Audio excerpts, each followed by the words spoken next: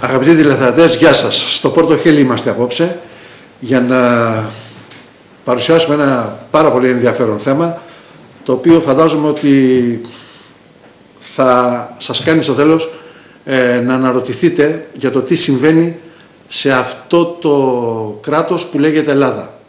Είμαστε στα γραφεία των εταιριών ε, του κυρίου Γούτου και θα συνομιλήσουμε τώρα με τον πρόεδρο των εταιριών, τον κύριο Βαγγέλη Γούτο, ο οποίος ε, δραστηριοποιείται πολλά χρόνια εδώ και όχι μόνο εδώ, αλλά και στο εξωτερικό και στην ε, Αθήνα και στα Δική, σε όλη την Ελλάδα γενικά, αλλά και στο εξωτερικό όπως είπαμε, για να μας μιλήσει για μια προσπάθεια που κάνει εδώ και πολύ καιρό ε, να αξιοποιήσει περιοχές τόσο στην Μαγευτική Ερμηνίδα όσο όμως και στην Αθήνα και έχει κάπου κολλήσει κάπου σκοντάψει, κάποιοι του ε, παρουσιάζουν προβλήματα τα οποία φαντάζομαι, θα μας το πει και ο ίδιος, δεν τα περίμενε όταν ξεκίνησε να κάνει αυτά τα σχέδια πράξη. Κύριε Πρόεδρε, σας καλωσορίζουμε στην εκπομπή. Ευχαριστούμε που δεχτήκατε να μας μιλήσετε. Έχουμε μάθει ότι δεν είστε και πολύ έτσι άνθρωπος των μέσων, δεν θέλετε να δίνετε, αλλά φαντάζομαι ότι ο κόσμος πρέπει να μάθει μερικά πράγματα και εσείς είστε ο μοναδικός που μπορεί να δώσει απαντήσεις. Καταρχήν ευχαριστώ πολύ κύριε Πιτσάκη για τη συνέντευξη. Θεωρώ ότι είναι κατάλληλη στιγμή και η μέρα η σημερινή επειδή η προσπάθεια δικιά μας δεν θέλουμε να κομματικοποιηθεί ότι είμαστε σε κάποιο κόμμα ή ανήκουμε σε κάποιο κόμμα. Γι' αυτό και την κάνουμε προεκλογικά. Γι' αυτό και την κάνουμε σήμερα προπαραμονές εκλογών. Και ελπίζω να μην την βγάλετε ούτε την Κυριακή, όχι, όχι, ούτε και τη Δευτέρα. Την άλλη Λοιπόν, εμείς ε, προσωπικά και εγώ από πολύ μικρός από την εποχή του πατέρα μου, η ασχολία μας είναι ξεκάθαρα με το real estate, με τα ακίνητα.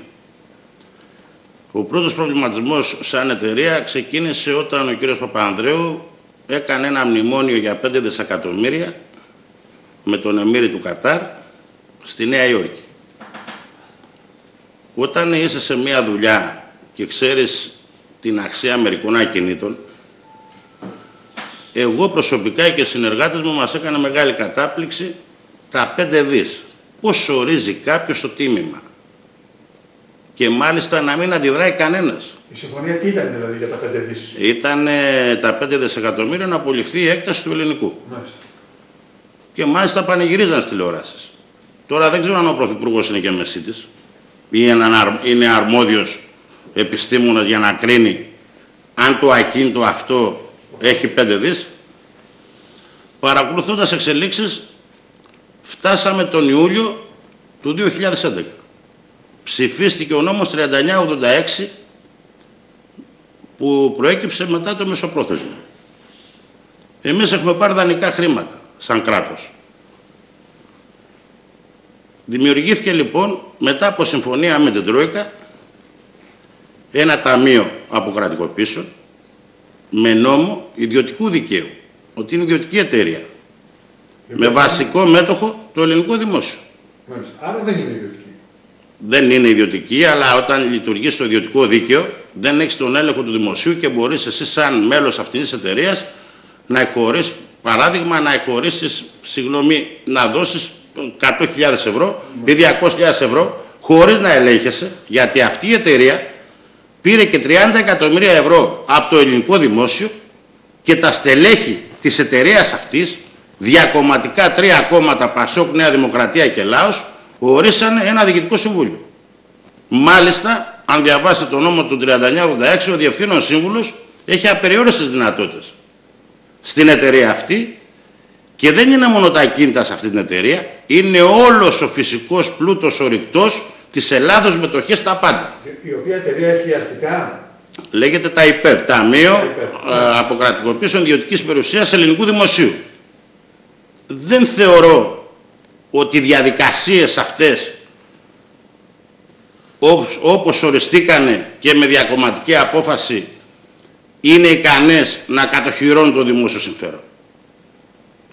Εγώ μιλάω για το περιουσιακό στοιχείο του Ταμείου, το οποίο αφορά τα ακίνητα και μόνο. για τα άλλα όλα δεν γνωρίζω. Το τρελό είναι ότι το Ταμείο έχει ένα site. Μπορείτε να μπείτε να το δείτε. μιλάνε για 70.000 ακίνητα. Ξέρετε τι εστί 70.000 ακίνητα; Μήπως τα ξέρετε εσείς που είναι; Εσείς ασχολείστε με αυτά. Λοιπόν, επειδή τα 70.000 ακίνητα για μένα δεν ανήκουν σε κανένα διοικητικό συμβούλιο Έτσι. και ανήκουν στον ελληνικό λαό, όφιλε το Ταμείο ή οι πολιτικοί να σηκώσουν τη λίστα να τα μάθει ο κόσμος που είναι. Εγώ μερικά ξέρω. Και σε αυτό που πρωτασχοληθήκαμε σαν εταιρεία ήταν με το ελληνικό. Αυτό πάλι που είναι ασύλληπτο είναι ότι βάζουν 25 δισεκατομμύρια ευρώ μόνο εξευτελιστικό τίμημα ότι κάνουν τα 70.000 ακίνητα. Όλα μαζί. Όλα μαζί, τα 70.000. Μάλιστα. Αν είναι δυνατόν. Δηλαδή χρωστάμε 350 δις και πάμε με τα 70.000 ακίνητα και μάλιστα λέει το site του Ταμείου φιλόδοξο σχέδιο. Ποιος όρισε αυτό ότι είναι φιλόδοξο; Με ποιες διαδικασίες; Μήπως με τις διαδικασίες πριν ένα χρόνο που μια εταιρεία στη Γερμανία έλεγε ότι η ελληνική δημόσια περιουσία κάνει 125 δις; Και παίρνουμε στη Ρεβέργη και βγαίνει Έλληνας και μαθαίνουμε ότι από εκεί χρηματοδοτείται από άλλη πλευρά αυτή η έρευνα. Ή μήπως κατά τον κύριο Μάνο και τον κύριο Στουρνάρα ότι έχει 300 και μιλάνε για ομολογίες. Είναι μεσίτης ο κύριος Μάνος. Ο κύριος Στουρνάρας είναι μεσίτης. Προφανώς όχι. Αλλά για πείτε μου κάτι. Αυτή το, συ- το διοικητικό συμβούλιο που ποιοι το απαρτίζουν, ας πούμε, έτσι, άνθρωποι Ο- του χώρου ή ξεκάθαρη κομματική φίλη, ας πούμε. Ε, όπως ξέρετε τα κόμματα ορίσαν από ένα να... Καταλαβαίνω. Τα κόμματα. Εντάξει. Εσείς ε, ενδιαφερθήκατε και για το ελληνικό; Εμείς ε, Δηλαδή έχετε τόσες γελές πλάτες που ενδιαφερθήκατε για αυτό το τεράστιο. Δηλαδή τα 5 δισεκατομμύρια από ό,τι μου είπατε τώρα είναι αστείο ποσό, έτσι. λοιπόν, Δεν το συζητάμε. εμείς ε, δυστυχώς δεν είχαμε κάνει ποτέ εμπλοκή με το δημόσιο. Δυστυχώς ή ευτυχώς; Ευτυχώς μόνο θα λέτε. Δυστυχώς που κάνετε. Τέλος τώρα. πάντων, αν είχαμε κάνει, μπορεί να μην μπορούσαμε να μιλήσουμε. Γιατί όποιος πληρώνεται από το δημόσιο δεν μπορεί να μιλήσει. Σωστό. Λοιπόν, εμείς ε, καταθέσαμε μια πρόταση. Πριν καν γίνει ε, πρόσκληση εκδήλωση ενδιαφέροντος στη βαφτίσαν, όταν βγήκε να πουληθεί το ελληνικό επίσημα, εμείς κάναμε μια πρόταση στις 10 Δεκάτου του 11, αν θυμάμαι καλά, υπάρχει το site του Ελλήνων Πολιτεία, είναι όλα ανεβασμένα στο ίντερνετ, και είπαμε ότι εμείς προτείνουμε ένα μοντέλο το οποίο θα πάρει το ελληνικό δημόσιο 21 δις 800 για αυτό το ακίνητο και ζητήσαμε και 30% αυτό ήταν το λάθος μας να έχει συμμετοχή το ελληνικό κράτος και αυτό είναι 9,3 δις επιπλέον. Το λάθος μας, γιατί αν ξεκινάς κάτι και δεν το ξέρεις καλά, ήταν ότι προτείναμε ένα 30% να πάρει το ελληνικό δημόσιο. Από τη στιγμή που κάνεις μία πρόταση σαν εταιρεία και το κράτος δεν απαντάει καν, γνωστοποιείς τα κόμματα σε όλους την πρότασή σου, για μένα θεωρώ ότι όφιλε το κράτος να αξιολογήσει την πρόταση και όχι να πει έλα κύριε εγώ το πάρτε το εσείς και όσοι είσαστε πίσω από εσάς, Σωστά. αλλά να το εντάξει αν είναι για το δημόσιο συμφέρον την πρόταση, Σωστά. αν έβγαινε χρηματοδοτικά. Δεν το κάνανε αυτό. Δεν το κάνανε. Εδώ, συγγνώμη που γελάω, εμείς όμως, επειδή το καλό το παλικάρι ξέρει και άλλο μονοπάτι, διαβάζοντας το νομοθετικό πλαίσιο, εμείς κάναμε παράλληλα ενέργειες και πήγαμε σε αυτούς που χρωστάμε. Και δεν κάτσαμε εδώ στην Ελλάδα.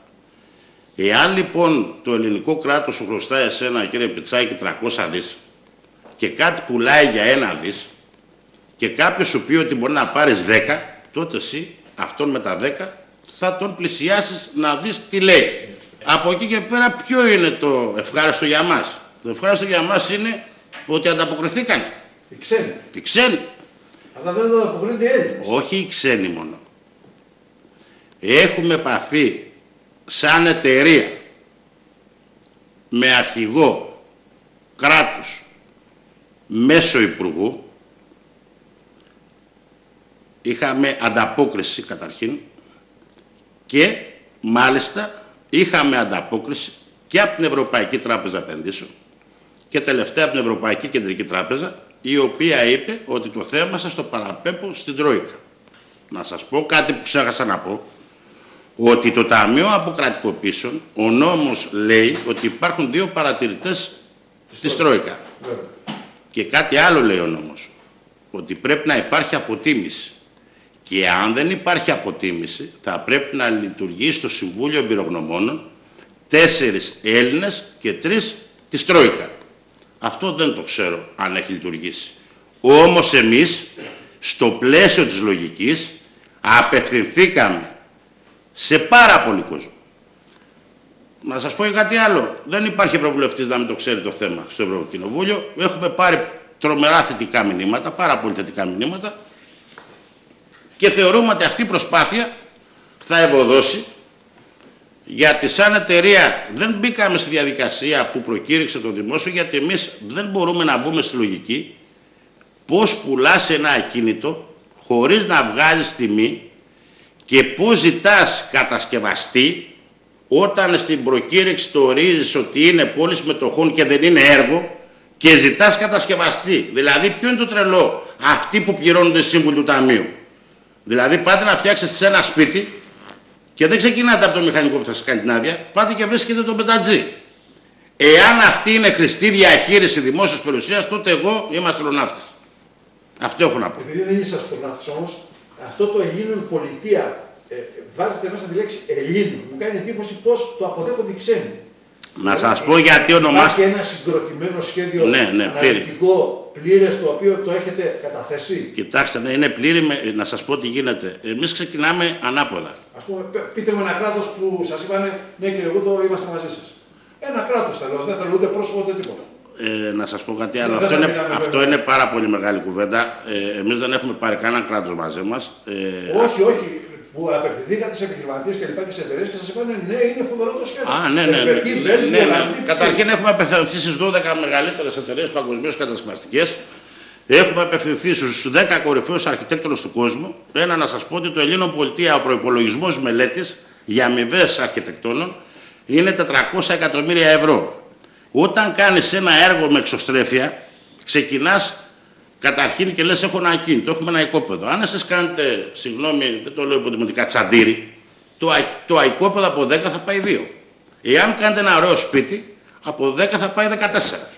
Εμείς λοιπόν τι κάναμε; Κάναμε μια μελέτη έρευνας αγοράς στην παγκόσμια αγορά.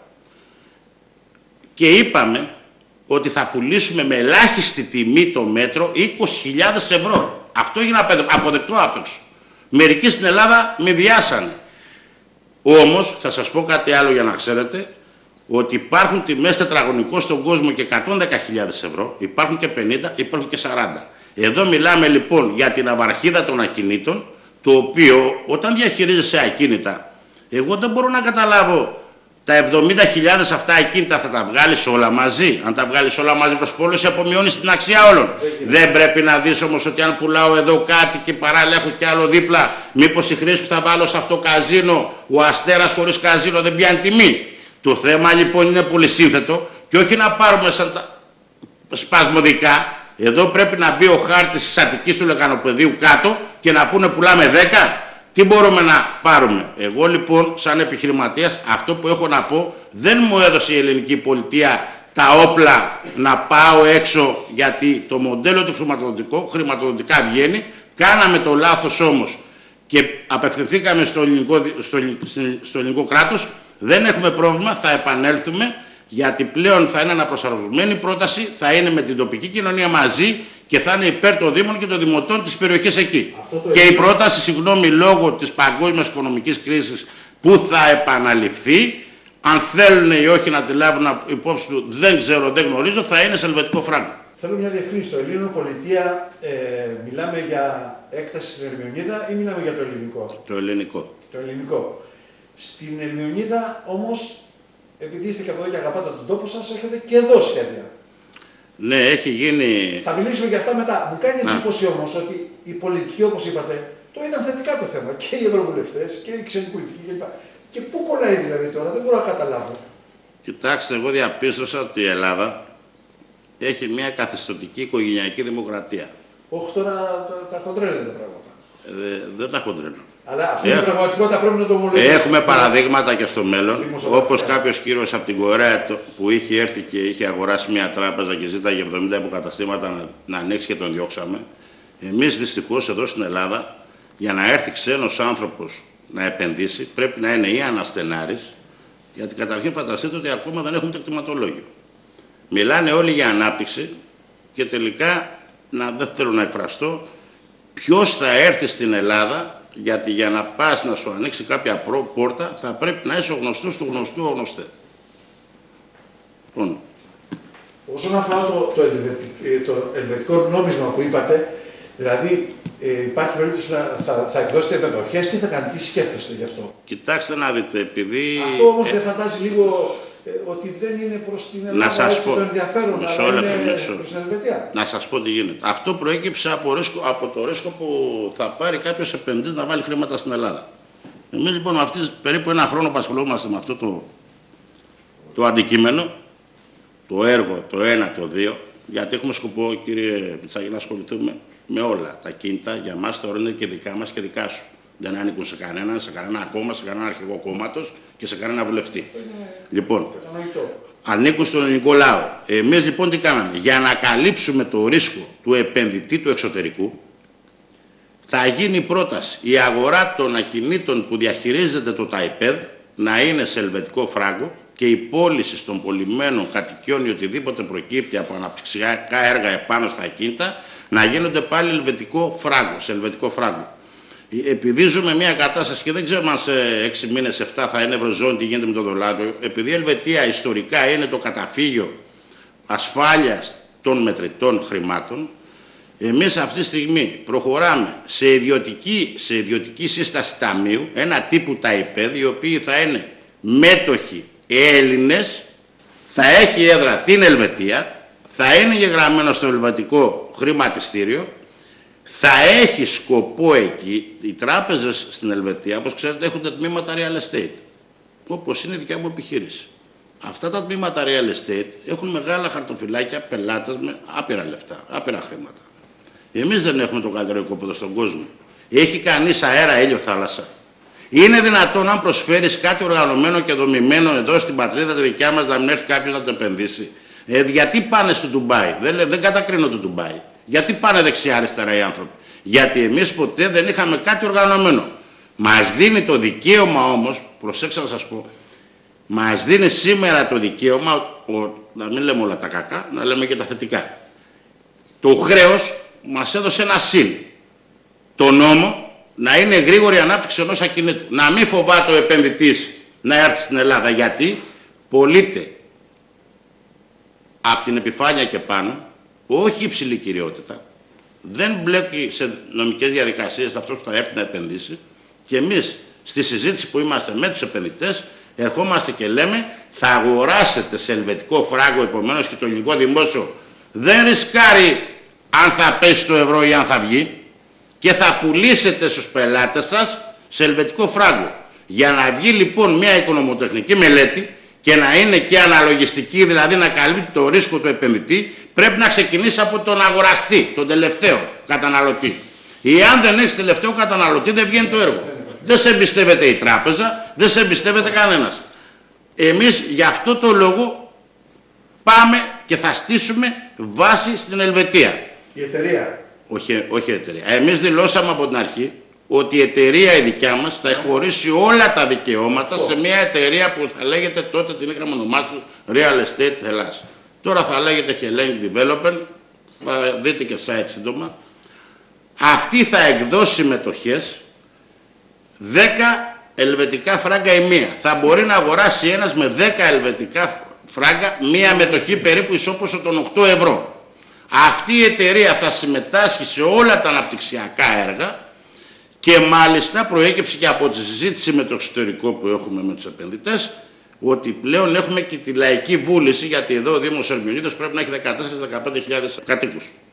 Άρα μιλάμε χοντρικά δηλαδή να μας δοθούν 50.000 ευρώ. Δεν είναι το θέμα των 50.000 ευρώ. Το θέμα είναι ότι εδώ για την Ερμηνίδα που θα το πούμε το ενέστερα, όταν είναι 1 δισεκατομμύριο 50 εκατομμύρια ευρώ η επένδυση, ο άλλος θέλει να αισθάνεται ασφαλής ότι έχει και η τοπική κοινωνία μαζί του. Ευτυχώς εδώ όμως, στον τόπο το δικό μας που καθόμαστε, εδώ έχουμε δώσει εξετάσεις. Έχουμε περάσει.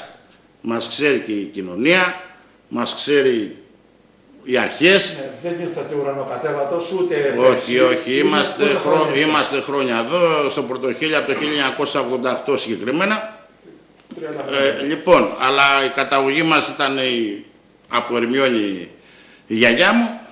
Αρκαδία κρατάμε καταρχήν. Ε, εδώ θα, θα, σε δεύτερο στάδιο θα σας πω όσον αφορά εδώ για το χτήμα της ΔΕΠΟΣ και όχι μόνο γι' αυτό. Να σας ρωτήσω κάτι. Ε, τώρα βέβαια ε, αυτές οι, πώς το είπα αυτό το ταμείο, το, τα, ΙΠΕΔ. τα ΙΠΕΔ, αυτή η πληγή, ας την πούμε έτσι, ε, αυτή τώρα έχει τα χνότα της με τις εκάστοτε κυβερνήσεις, γιατί μιλάμε δύο μέρες πριν από τις εκλογές και μπορεί αύριο να αλλάξει και να είναι καλύτερα τα πράγματα. Αυτό το έχετε σκεφτεί; Να σας πω. Ή τα ίδια θα είναι; Να σας πω. Τι διδάσκει πείρα. Δεν μας ενδιαφέρει. Εμείς είμαστε αισιόδοξοι. Είμαστε αισιόδοξοι γιατί όταν πιστεύεις κάτι ότι είναι καθαρό, το πολεμάς μέχρι το τέλος.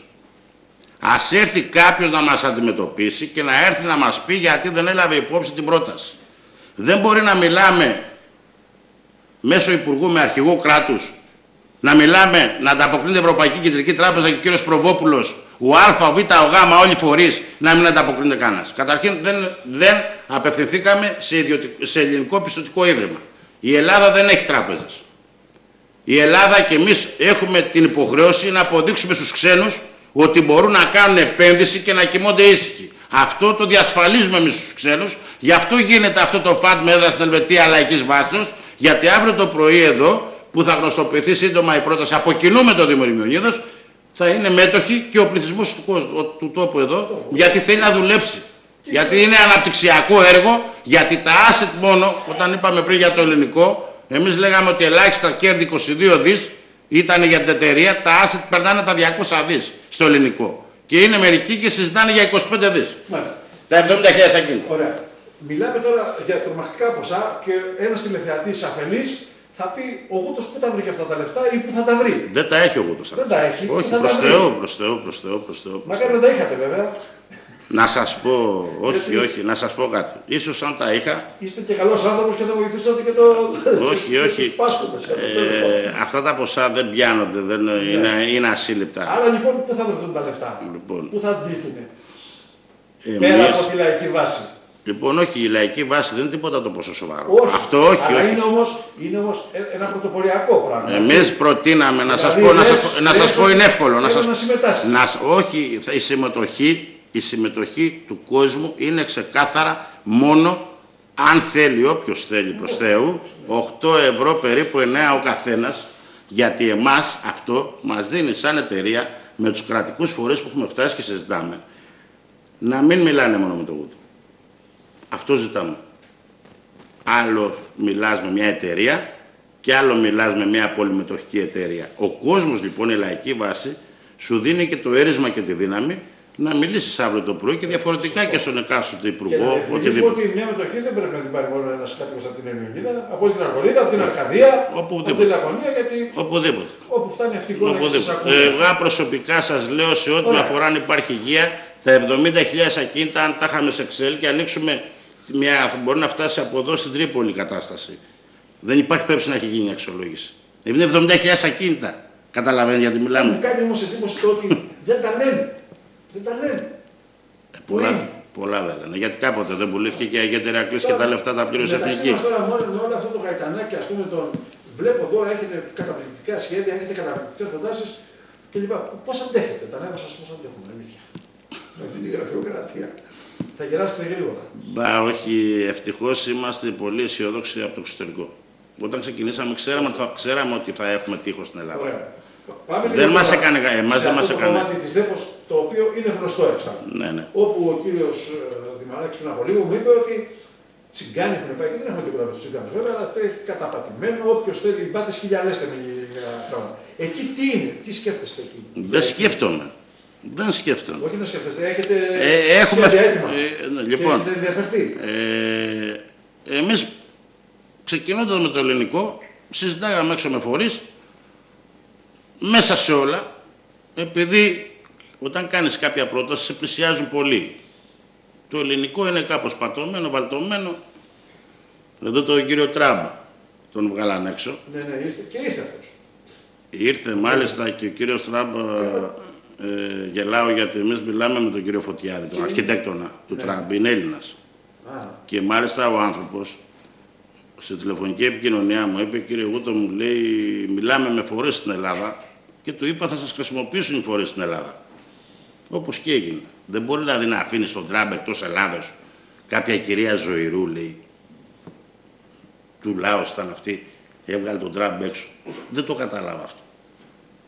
Μερικά πράγματα, το know-how το όνομα, μόνο και μόνο να του πεις σου δίνω κάποιο 0,5% γιατί θέλω μόνο το όνομά σου. Εμείς δηλαδή, όταν αυτή τη στιγμή μπορούμε να επικοινωνήσουμε με τον Φώστερ, ο οποίος ο άνθρωπος κάνει τους Ολυμπιακούς Αγώνες του Λονδίνου, δεν θα πάμε να βγάλουμε ένα έργο ούτε με το Βούτο, ούτε με το Πιτσάκι δεν το ξέρει η παγκόσμια αγορά.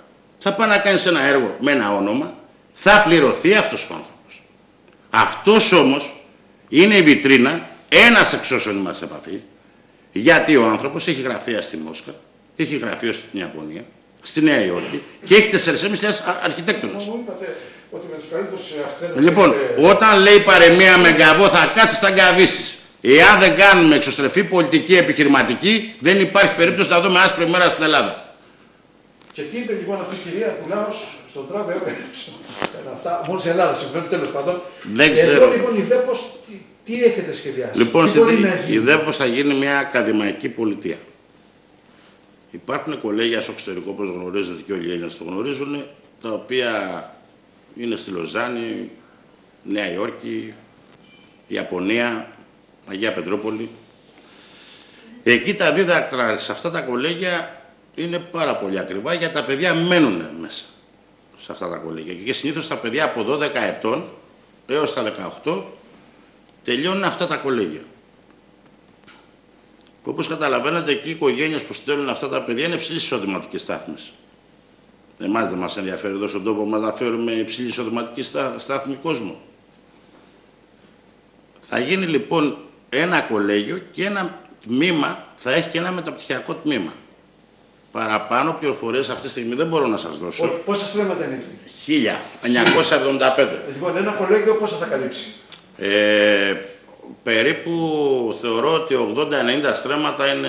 Και τα άλλα; Τα υπόλοιπα, όχι, τα υπόλοιπα, περίπου τα άλλα 220 στρέμματα θα χτιστούν 300.000 τετραγωνικά δομήσιμα μέτρα και θα είναι κατοικίες των 400 μέτρων μέσω όρο η κάθε μία έως 500 συγγνώμη, θα αγοραστούν από γονείς των παιδιών και από άλλους ανθρώπους. Το κολέγιο δε θα έχει για τους μαθητές και προς τα θαλάσσια σπορ δραστηριότητες. Ας το πούμε ένα κολέγιο θαλασσίων σπορ. Ναι. Η δραστηριότητα αυτό, δηλαδή φανταστείτε εσείς να μεγαλώνει το παιδί σας στη Λοζάνη, τον ήλιο της Λοζάνης, στην Αγία Πετρούπολη. Για φανταστείτε αν μπορούμε εμείς να φέρουμε παιδιά εδώ. Άρα τι μας λείπει; Μας λείπει το εκπαιδευτικό ίδρυμα. Το εκπαιδευτικό ίδρυμα λοιπόν υπάρχει. Το έχουμε βρει και υπάρχει και κρατική υποστήριξη. Εκτός Ελλάδος πάντα. Πάλι εκτός Ελλάδος. Πάλι εκτός Ελλάδος. Εδώ είναι πιο ισόταξα τα πράγματα. Εδώ το θεωρούμε εύκολο γιατί αυτή η έκταση θα πάρει το ελληνικό δημόσιο το λιγότερο 110 με 120 εκατομμύρια ευρώ. Άμα σας έφυγε κατά πάλι με κανένα συμφωνία με κανένα πολιτικό. Μακάρι να έρθει κάποιος να δώσει παραπάνω χρήματα από εμάς. Εμάς θα σας πω κάτι άλλο. Από ό,τι ακούμε και έχουν δημοσιεύσει, ε, υπάρχουν κάτι συμφωνίες για, για κάτι διαπλοκές, κάτι ιστορίες ότι αυτό θα πουληθεί 3,5 εκατομμύρια ευρώ. Εμείς το τίμημά μας θα είναι πάνω από 100 εκατομμύρια ευρώ και θα έχει ανταποδοτικά ωφέλη ο Δήμος και συμμετοχή με 10% στην εταιρεία δωρεάν, θα πάρει και 50 στρέμματα ο Δήμος στην ιδιοκτησία του από αυτή την έκταση για να κάνει ανάγκες δικές του, θα ενοποιηθεί η έκταση και θα υπογειοποιηθεί η είσοδος για να πάμε μέσα στο πορτοχέλι και τη στιγμή της μεταβίβασης του ακινήτου μετά την κατάθεση των σχεδιαγμάτων και την έγκριση του ΕΣΚΑΔΑ, ο Δήμος θα πάρει και 25 εκατομμύρια ευρώ. Α, μιλάμε για επενδύσεις κλπ. Ε, οι οποίες... Τώρα θα μου πείτε πώς βγαίνουν, ναι, θα, θα, θα μου πείτε πώς βγαίνουν αυτά τα λεφτά. Ναι, θα, σας θα μπορούσαμε να δείξουμε ένα, τι, ένα πίνακα τιμών που πουλάνε στο εξωτερικό. Όταν εσείς αγοράζετε κάπου εκεί που μένετε, μέσα 40.000 το μέτρο, και σας πω εγώ, υπάρχει ένας οικισμός, υπάρχει αυτό το μέρος, υπάρχει αυτό το κλίμα και εκεί πουλάμε με 10, με 8, με 6. Αφού έχετε αγοράσει με 40, θα σας φανούν πολλά. Όχι, αν είναι και. Εξάλλου έχει εκδηλωθεί ενδιαφέρον από το εξωτερικό μου πατέρα. Μα δεν υπάρχει περίπτωση να πάρεις χρήματα από τράπεζα εάν δεν έχεις κλειδώσει την τιμή πώλησης. Αυτοί οι άνθρωποι που έρχονται να επενδύσουν έχουν και τους πελάτες μαζί να τα δώσουν. Εγώ θα σας πω κάτι κύριε Πιτσάκη για να ξέρετε γιατί ο κόσμος δεν το ξέρει. Για το κόσμο βασικά, ναι. Θα σας πω κάτι γιατί για μένα ξεκινάει το Α και το Μ είναι η πώληση. Δεν είναι η έκταση και η αξία καθορίζεται από την πώληση. Όταν το, Ντουμπάι, όταν το Ντουμπάι χτίζει έναν ουρανοξύστη, βγαίνει στο ίντερνετ ένα σχέδιο και βλέπει το σπίτι πριν γίνουν τα θεμέλια. Γίνονται λοιπόν online προπολίσεις πριν σηκωθεί ο πρώτος όροφος. Οι σύγχρονες αγορές δουλεύουν έτσι. Κάνεις προεγγραφή, πληρώνεις και προκαταβολή. Εδώ λοιπόν εμείς, εάν δεν πάμε το κομμάτι να δείξουμε πλήρη μελέτη, δεν σε εμπιστεύεται κανένας και το μόνο που σου ζητάει να δω την άδεια να έρθω να φέρω τα λεφτά.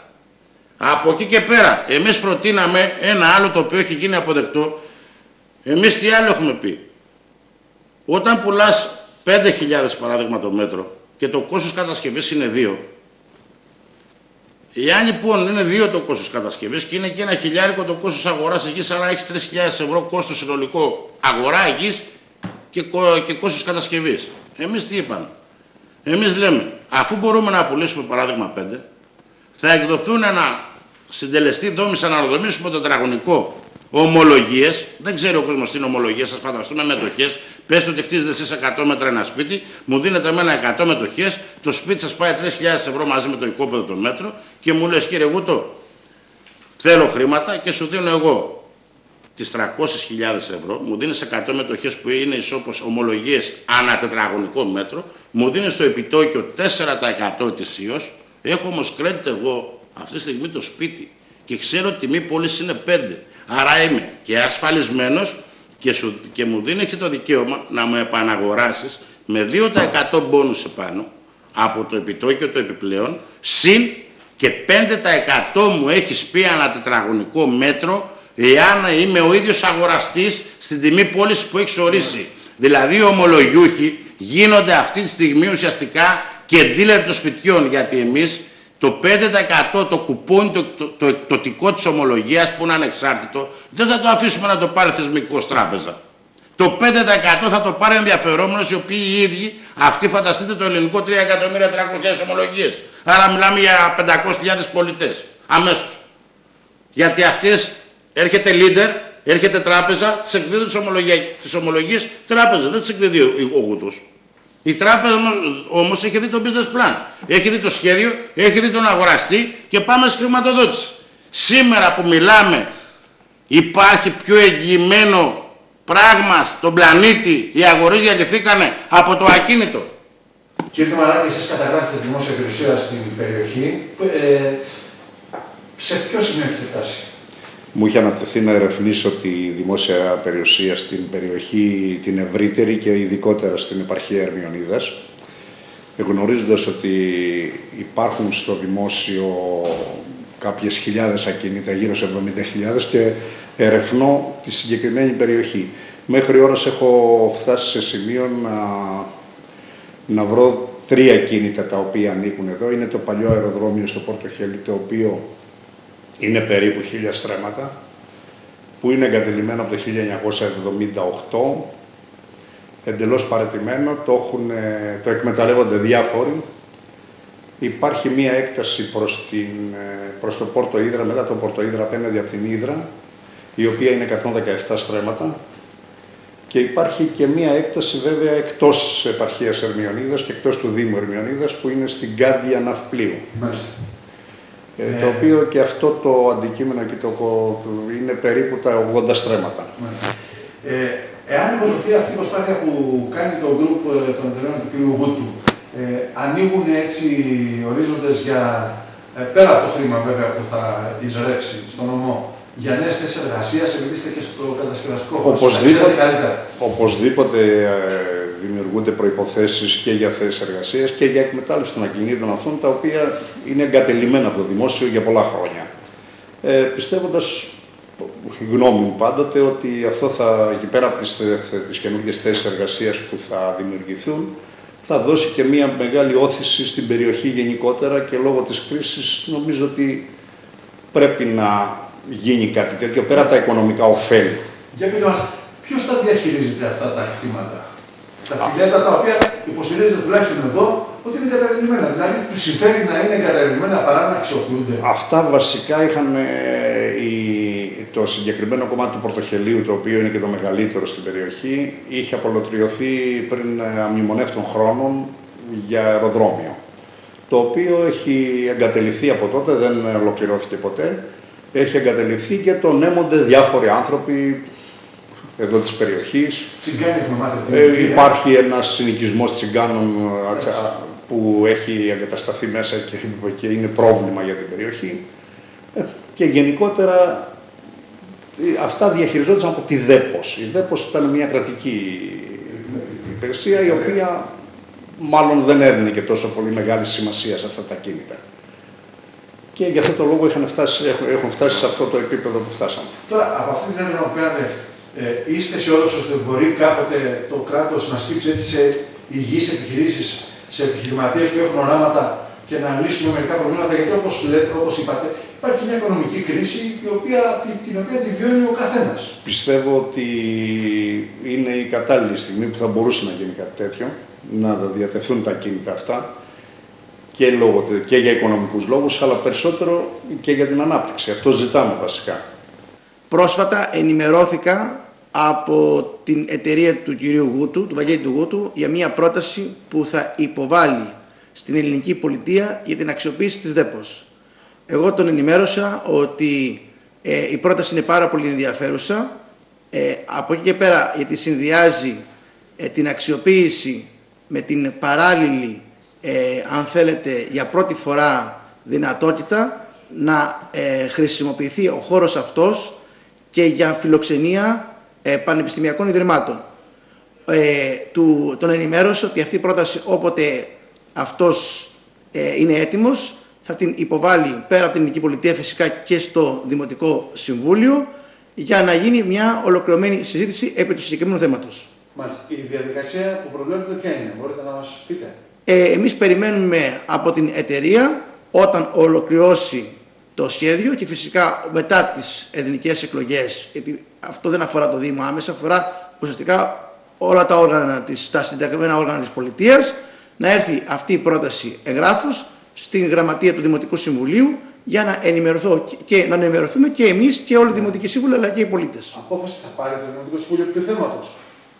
Ε, ακούστε να δείτε, σίγουρα όταν θα δει το θέμα για στο Δημοτικό Συμβούλιο θα υπάρξει και ανάλογη απόφαση που θα, αν θέλετε, θα αξιολογεί την πρόταση αυτή. Ναι, γιατί θα έχει και οικονομικά ωφέλη ο Δήμος από εκεί. Πρέπει ένα ποσοστό να το εισπράττει. Και δείτε, τη μελέτη δεν έχω διαβάσει πληρέστερα την πρόταση, όμως επειδή έχει πάρα πολλά οικονομικά στοιχεία και εμείς βασιζόμαστε σε μια βασική αρχή.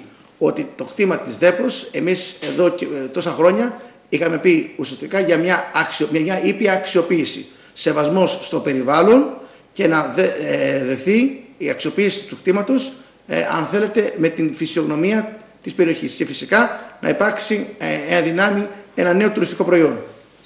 Κύριε Τουργάκη, εσείς είστε γνωστός εδώ οικονομικός παράγοντας, είστε ιδιοκτήτης ενός ξενοδοχείου. Και πείτε μας για αυτό το σχέδιο του κ. του, πώς το βλέπετε; Ε, νομίζω ότι είναι μια, ένα project το οποίο θα βοηθήσει πάρα πολύ την, ε, την περιοχή για την οικονομική ανάπτυξη ε, γιατί επειδή ζω και δραστηριοποιούμε σε αυτό το χώρο, τόσο σαν τουριστικός πράκτορας αλλά και σαν επιχειρηματίας ιδιοκτήτης ε, ξενοδοχείου και βλέποντας τα τελευταία χρόνια την, ε, τόσο την μείωση από πλευράς ε, τουρισμού αλλά και την μείωση των ακινήτων στην ευρύτερη περιοχή ε, πρέπει να υπάρξει μια άμεση αντίδραση ούτως ώστε να ξαναπελώνουν πάλι τα πράγματα στην προηγούμενη κατάσταση. Ε, θεωρώ ότι αν γίνει η πρόταση για βάση αυτών των στοιχείων που έχουμε για πάνω από 100.000 ευρώ το στρέμμα, θα αξιοποιηθεί η περιοχή και πάλι θα, ξανα, θα επανέλθουν τα κινήτα στην, ε, στην αξία που είχαν ε, και θα, πλέον θα υπάρξει μια άλλη ανάπτυξη και θα θα δημιουργηθούν νέες θέσεις εργασίας. Αυτό είναι σίγουρο αυτό, ε, ότι θα δημιουργηθούν θέσεις εργασίας. Οπωσδήποτε είναι Αυτό είναι και το ενδιαφέρον. Αυτό είναι και το ενδιαφέρον. τον νομό γενικότερα. Γενικότερα για τον νομό. Και ας μην ξεχνάμε ότι η περιοχή εδώ είναι το διαμάτι της ε, Πελοποννήσου. Αν θέλουμε να λεγόμαστε να, τοπικιστές και να μην το τραβήξουμε παραπάνω και ένα από τα ανώτερα κομμάτια της ε, Ελλάδος. Άλλωστε για αυτό το λόγο την αξιοποίησαν και ήρθαν εδώ οι μεγάλοι ε, οικονομικοί παράγοντες, έφτιαξαν τα σπίτια τους και δημιουργήσαν εδώ διάφορες υποδομές. Ε, αυτή η πρόταση νομίζω θα είναι ένα φρένο για την, ε, για την μείωση των τιμών στην περιοχή που συνεχίζει να υπάρχει μέχρι σήμερα και θα, ο σκοπός είναι ότι θα υπάρξει μια μεγάλη ανάπτυξη στην περιοχή. Λέγομαι Παντελής Βλαχογιάννης, Είμαι, έχω κτήμα από πάνω από το κτήμα της ΔΕΠΟΣ και στην ουσία είμαι τα μάτια της ΔΕΠΟΣ εδώ. Γιατί επειδή τον έμονται πάρα πολύ και επειδή δεν είχαμε καμία ισχύ για να πούμε σε κάποιον να μην πετάει σκουπίδια ή να μην ε, κάνει τα σταλίες ή το οτιδήποτε, κάναμε μια σύμβαση με τη ΔΕΠΟΣ, με το νομικό τμήμα της ΔΕΠΟΣ. Έχει έρθει το χαρτί εδώ και χρόνια στο, στο Δήμο και στην αστυνομία για να έχουμε κάποιο κύρος και να απαγορεύουμε ή να λέμε να μην ε, πετάνε σκουπίδια και να μην κάνουν οτιδήποτε ατασταλία στο κτήμα της ΔΕΠΟΣ, επειδή τον έμονται πολλές φορές και το βασανίζουν. Κάνατε, είπε, είπατε. Ναι. Έχουμε κάνει μια σύμβαση. Δηλαδή, ε, ένα δεν είστε μόνος σας; Όχι, μόνος μου, μόνος μου, Α, μόνος, μου, μόνος μου. Ωραία, μόνος αυτό το, αυτές οι αποφάσεις λοιπόν ε, υλοποιούνται, δηλαδή μειωθήκανε, μειώθηκε το πέταμα του σκουπίδιου. Όχι, όχι. Μειώθηκε λίγο, αλλά όχι. Η εισβολή των τσιγκάνων όχι, γιατί αλλάξαν από τη μεριά της δική, τη δική μας, ας πούμε, ναι. επειδή είμαστε εμείς και πήγανε αριστερά του δρόμου όπως κατεβαίνουμε από το, προς το πρωτοχέλι που δεν, είναι, που δεν είμαστε από πάνω και δεν... Ε, Εσείς τόσα χρόνια που είστε εκεί νομίζετε ότι πρέπει να αξιοποιηθεί αυτός ο χώρος; Οπωσδήποτε πρέπει να αξιοποιηθεί. Είναι καλό το λέτε; Όχι, είναι καλό και για τον τόπο. Το δηλαδή, είναι καλό φιλέτο για να, το, για να το ιδιωτι, ιδιωτικοποιηθεί κάποιος για να κερδίσει, δεν μας ενδιαφέρει αυτό. Μα μας ενδιαφέρει να γίνει κάτι καλό για τον τόπο και να καθαρίσει και να, να αξιοποιεί το κομμάτι. Εσείς είστε ενημερό για αυτά τα σχέδια της εταιρείας Γούτου. Βεβαίως. Τα, τα, τα, έχω δει, μου τα έχει εξηγήσει. Βεβαίως. Νομίζετε κι εσείς ότι θα έρθει ανάπτυξη; Οπωσδήποτε θα έρθει ανάπτυξη. Είναι ένα νεκρό κομμάτι το οποίο δεν γίνεται τίποτα. Δεν γίνεται τίποτα εκτός από βρώμα τώρα και τίποτε άλλο και εντάξει, άλλα άσχημα πράγματα. Εγώ πιστεύω σαν τέος ε, διευθυντικός τέλεγος της Εθνικής Τράπεζας 33 ε, ολόκληρα χρόνια ότι αυτά τα 70.000 ακίνητα των οποίων η αξία τουλάχιστον είναι ένα τρεις θα εξοφλήσουν το εξωτερικό χρέος της χώρας και φυσικά θα έρθουν καλύτερες μέρες για όλους μας. Ναι. Μια επένδυση δηλαδή λέτε όχι μόνο εδώ στην περιοχή, αλλά σε, όλα, σε μέρος αυτών των φιλέτων.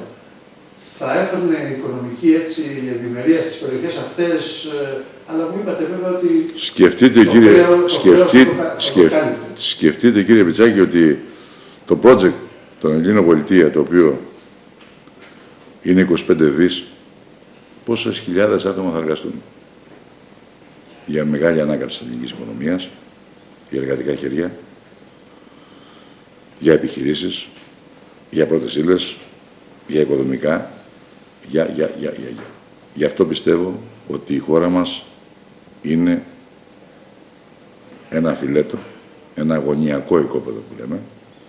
Κάποιοι δυστυχώς έχουν σκεφτεί να ξεπουλήσουν τη χώρα μας. Δεν θα τους το επιτρέψουν.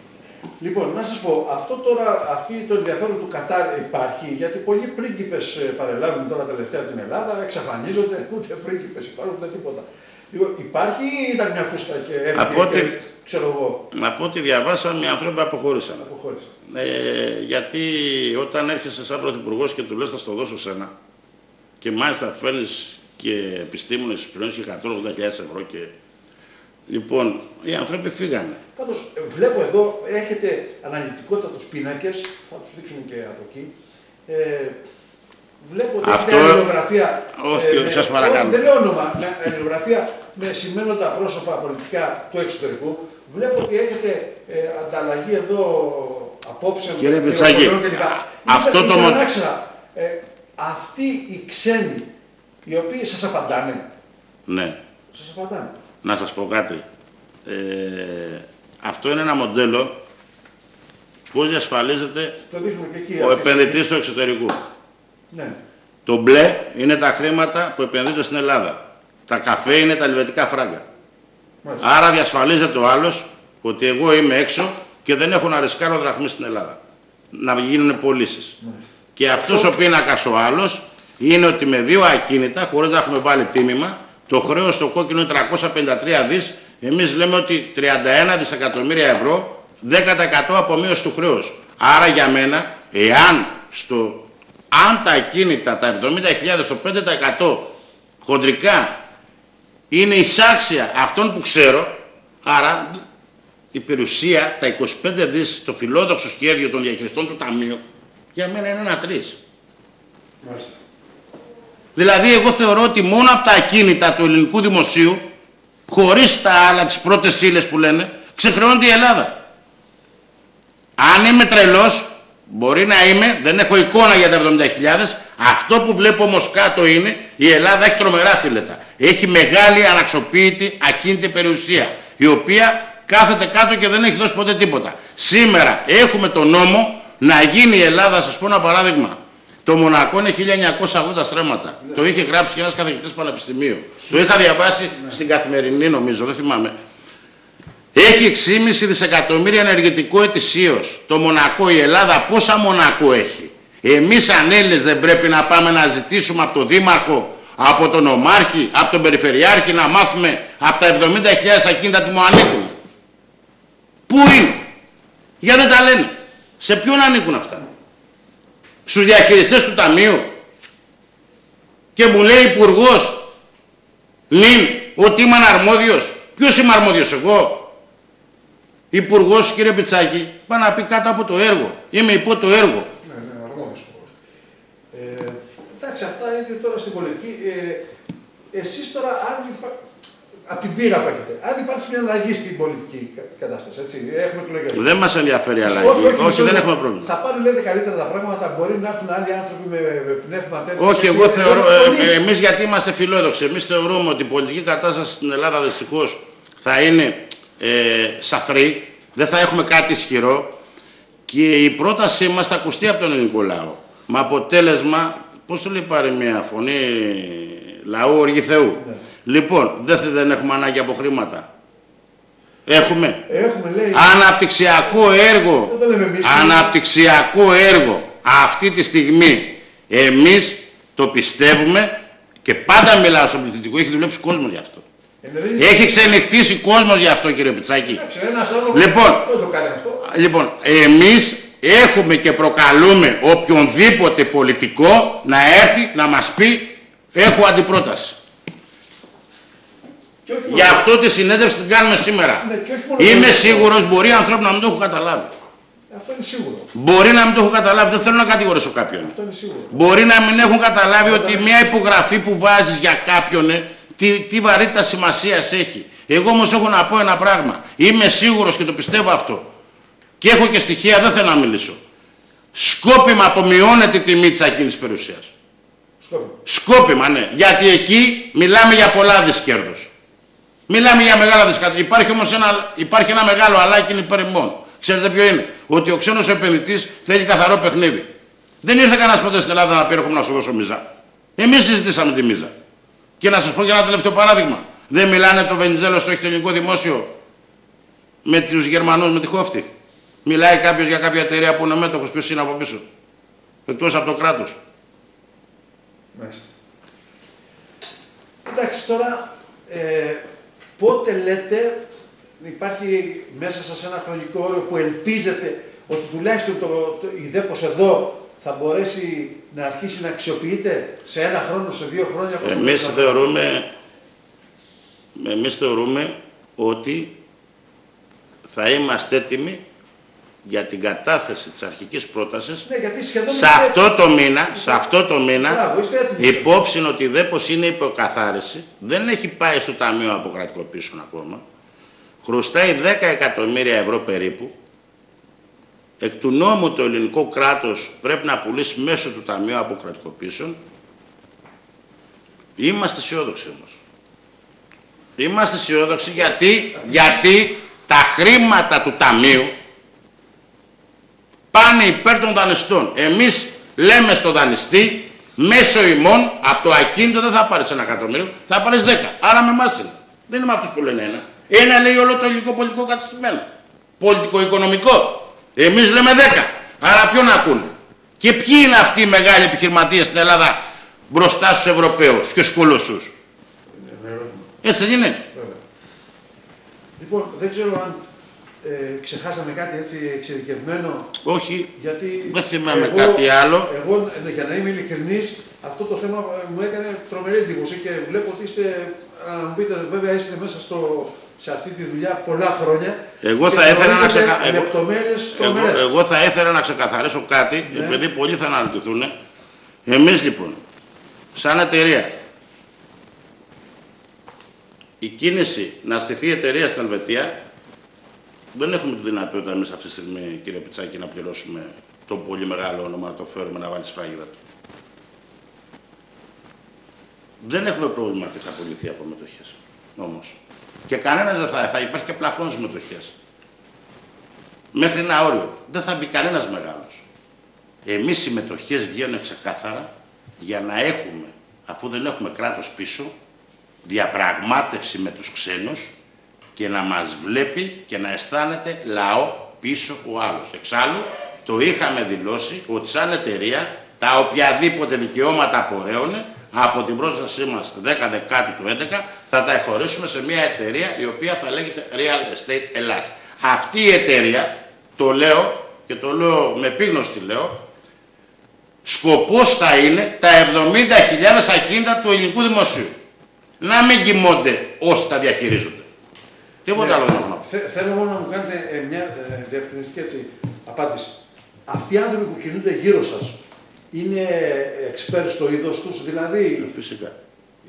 έχετε επιλέξει και εδώ τους καλύτερους δηλαδή. Βέβαια. Και υπάρχουν, Υπάρχουν και άνθρωποι που, Υπάρχουν δουλεύουν- άνθρωποι υπάρχουν οι οποίοι- άνθρωποι που δουλεύουν για ανιδιοτελώς, χωρίς χρήματα. γιατί θέλουν, ελπίζουν και αυτοί δηλαδή να, ότι θα Κύριε υλοποιηθούν Πετσάκη, αυτές- όλα στη ζωή δεν είναι επιπληρωμή. Έχετε δίκιο. Εμείς δεν παίρνουμε 50.000 το μήνα στα Σύμβουλο Επικοινωνίας στο Ταμείο. Ούτε πήραμε 180.000 ευρώ από το ελληνικό κράτος. Με κανέναν υπουργό μιλήσατε έτσι και του είπατε αυτά που είπατε από στην Ναι, μου είπε να πάω στον κύριο Μητρόπουλο. Όχι, σας είπανε μα- μάλλον. Ήμουν με- αρμόδιος. Με ανοιχτό το στόμα, έτσι. Ναι, ναι. Και ποιος είναι ο Όχι. Μητρόπουλος, δηλαδή δεν κατάλαβα.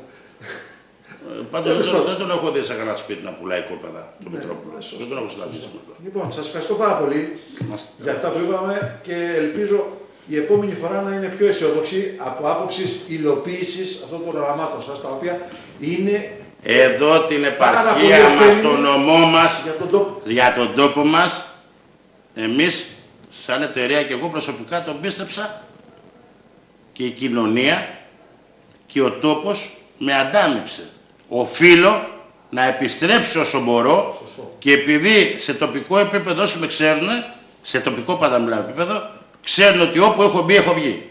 Και θα μπω και θα βγω. Και θα, σας, θα το νιώσει και η, η κεντρική αυτό με το ελληνικό. Τι λέτε. Αυτή είναι- Δεν, δεν θα αυτό- υποστηρίζετε τη σημαία Να σας πω, όχι, δεν είναι- να Θα σας- διεκδικείτε και εκεί. Το ελληνικό είναι πάλι δικό μας. Να είστε σίγουροι. Μακάρι. Σας ευχαριστώ πολύ. Και εγώ χάρηκα πολύ.